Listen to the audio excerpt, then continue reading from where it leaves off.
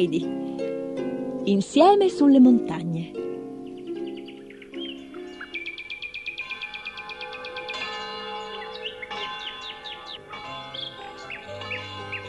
Quando Heidi si svegliò nella baita del nonno, nella valle suonavano le campane e gli uccellini cantavano felici.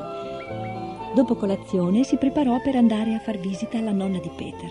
Corse a perdifiato giù per il sentiero finché la piccola casetta non fu in vista. Che strano. Qualcuno è entrato in casa correndo proprio come faceva Heidi. Sono io, nonna! Sono io, Heidi! esclamò lei, abbracciando la vecchia signora e coprendola di baci. La nonnina non riusciva a credere che fosse proprio lei finché non se ne accertò con le sue stesse mani che passò sui riccioli di Heidi. Intanto la bambina raccontava della sua vita a Francoforte. Figuratevi che non ci sono alberi, né fiori, né capre, né montagne, solo grandi edifici di pietra con le finestre chiuse. Per forza, Clara non è mai stata bene. Anche tu non hai più le tue belle guancine rosa, disse la mamma. Peter non ti riconoscerà quando torna a casa da scuola. Oh, io sto bene. Sono stata malata di nostalgia, ma ora che sono dal nonno mi sento meglio. Poi, senza dire niente, Heidi prese un libro di canzoni da uno scaffale e ne soffiò via la polvere. Cosa vuoi che ti legga, nonnina? chiese alla vecchia signora. Quello che vuoi, bambina, quello che vuoi, ma Sai leggere davvero, Heidi? Ecco, qui ce n'è una che parla del sole. Credo che ti piacerà. Il sole dorato illumina il prato e dispensa il suo calore su di noi con amore. Heidi, sai leggere davvero? E Heidi continuò a leggere finché la porta della casetta si aprì e comparve Peter. La bambina felice gli corse incontro e lo abbracciò e non è vero che lui non la riconobbe. Heidi gli raccontò tutto quello che aveva fatto in città, soprattutto che aveva imparato a leggere. E quando Peter ammise che lui invece non aveva ancora imparato, Heidi gli disse «Domani andremo su al picco dell'avvoltoio e ti darò la prima lezione. Davvero riuscirai a insegnarmi?» Certamente. Vedrai. Per tutta l'estate Heidi, Peter e le capre vagarono per l'alpeggio, su oltre la baita del nonno. Heidi vide di nuovo i fiori e gli uccelli e tutte le cose che le erano mancate tanto e per le quali aveva sospirato laggiù a Francoforte.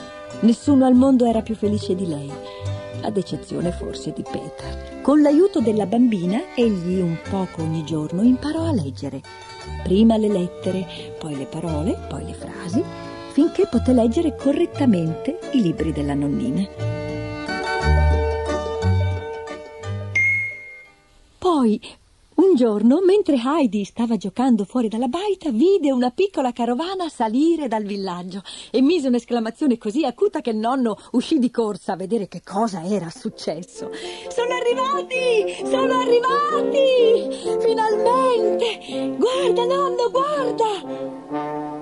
La processione si inerpicava lentamente lungo il sentiero. Davanti c'erano due uomini che portavano una specie di portantina con dentro una fanciulla avviluppata in scialli e coperte. Dietro di loro una signora cavalcava un bel cavallo bianco e per ultimo veniva un uomo che spingeva una seggiola a rotelle vuota ed era carico di cappotti e pacchettini.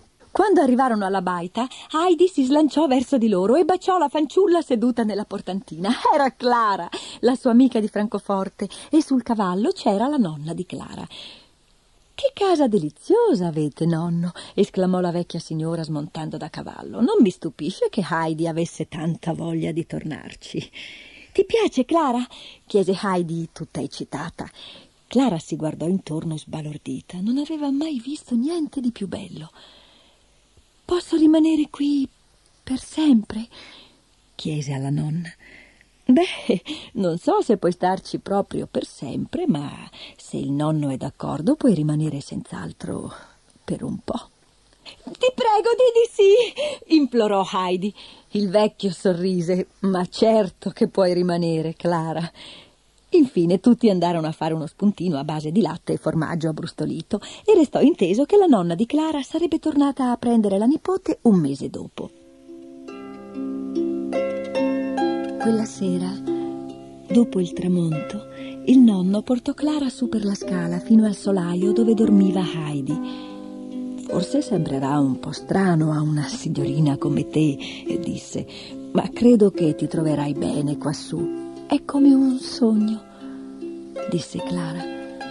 Heidi mi ha parlato tanto del suo letto di fieno e della finestrella rotonda, ma non avrei mai immaginato di poter vedere con i miei occhi tutta la vallata.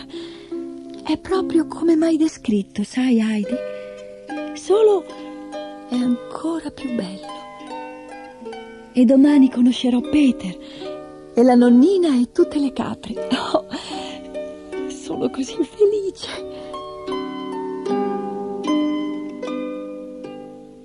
Ma Peter non era contento.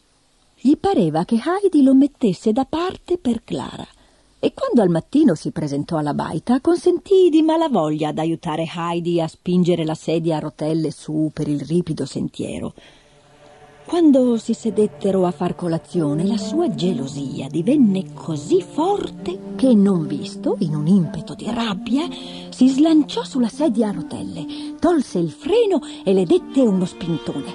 La seggiola rotolò per il pendio, sempre più velocemente. In un lampo fu sull'orlo del burrone e precipitò, fracassandosi in mille pezzi sulle rocce sottostanti.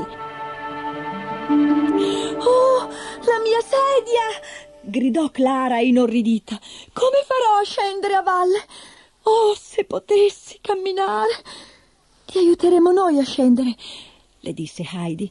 Mettimi un braccio intorno al collo e, e con l'altro prendi Peter sotto braccio. Ora appoggiati bene e noi ti porteremo. D'accordo? Ma Clara non era leggera e presto si stancarono. Appoggia bene un piede per terra, le disse Heidi. Clara ubbidì. Adesso l'altro. Sostenuta da Peter e da Heidi, Clara tentò due brevi passetti. Credo che ce la farò, Heidi. Lentamente, faticosamente, Clara fece un passo, poi un altro. Cammino! Guardatemi! Cammino! Clara si teneva forte a Peter e a Heidi, ma scoprì che riusciva a muovere dei passi da sola. Per la prima volta camminava. Heidi era fuori di sé dalla gioia. Se il nonno e la tua nonna potessero vederti, ora, ora potrai venire con noi in montagna tutti i giorni. Camminarono ancora un po', poi si fermarono per riposare. Il sole scottava e dopo un po', sia per le emozioni della mattinata che per il profumo inebriante dei fiori, si addormentarono profondamente, tutti e tre. Dormirono fino al tramonto, quando il nonno, in pensiero per il loro ritardo, salì a cercarli chiamandoli a gran voce. Heidi si svegliò e corse da lui. Nonno! Nonno! Clara, cammina! Cosa? Ma che dici, bambina? Non è possibile ma sorridendo e sostenendola esortò Clara a camminare. Lentamente, con attenzione, la bambina compì effettivamente qualche passo. È meraviglioso, esclamò il nonno, ma non dobbiamo esagerare. E presa Clara fra le braccia, la portò fino alla baita. Subito, il mattino dopo, il nonno disse che avrebbe scritto alla nonna di Clara di venire, perché aveva qualcosa di molto speciale da comunicarle. I giorni che seguirono furono forse i più felici che Heidi avesse trascorso. Ogni mattino Clara si svegliava sentendosi meglio e più forte e ogni volta riusciva a camminare di più. Passarono diversi giorni poi la nonna scrisse che sarebbe arrivata l'indomani con il padre di Clara, il signor Seseman. Seduti su una palanca davanti alla baita, Heidi e Clara aspettavano i loro ospiti. Infine arrivarono. Come? Si stupì la nonna quando vide Clara. Come mai non sei sulla tua sedia a rotelle? Aiutata da Heidi, Clara si alzò in piedi e abbracciò la nonna. Il signor Seseman rimase lì a fissare la figlia con gli occhi pieni di lacrime. Non mi riconosci, papà? Sono cambiata così tanto. Rise Clara. Clara! Sua figlia, abbronzata e piena di salute, i capelli dorati dal sole, gli stava venendo incontro camminando lungo il sentiero. Corse da lei e la prese fra le braccia. Ma sei davvero tu, mia cara? Sì, papà, rise Clara. Poi si fece seria. La mia seggiola si è rotta su all'alpeggio e così Peter e Heidi hanno dovuto riportarmi a braccia, ma facevano così tanta fatica ho proprio dovuto camminare. Dovevo farlo. Heidi, la nonna, il nonno e Peter li raggiunsero. Andarono tutti insieme alla casetta di Peter a festeggiare l'avvenimento. Il rumore delle loro risate si sparse per la valle e trovò eco fra le montagne. Il nonno, intimidito e goffo nel suo vestito migliore, cantò una canzone presa dal libro della nonnina. Che bella voce avete, esclamò nonna Seseman. Dovreste cantare nel coro della chiesa. E con gran stupore di tutti il nonno rispose, penso proprio che lo farò, se mi vorranno. Comunque dovrò portare giù a Durfley Heidi per la scuola l'inverno prossimo.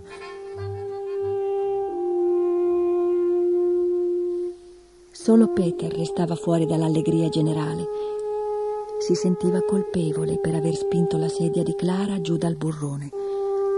Vieni qui, ragazzo, lo invitò nonna Seseman. Voglio ringraziarti perché anche tu hai aiutato Clara a camminare e ti meriti un premio. No, disse lui quasi in lacrime. Io avrei dovuto aiutare Clara. Invece ho spinto la sedia giù dal burrone perché mm, ero geloso. Non è stato un incidente. Heidi lo sa, ma non l'ha detto perché è mia amica, ma io so di avere fatto male e mi dispiace tanto. Tutto scosso, Peter aspettava la reazione della nonna. Beh, sì, non è molto bello quello che hai fatto, disse la vecchia signora ma è servito a far camminare Clara. Quindi non devi più essere triste, perché anzi le hai fatto un favore. Presto, troppo presto, arrivò l'ora di partire. Il signor Seseman e la nonna avevano già deciso di portare Clara con loro. Al momento di salutarsi, molte lacrime furono versate, ma la nonna disse che la prossima estate Clara sarebbe tornata a stare col nonno, con Heidi e con Peter, nella loro bella casa, fra le montagne.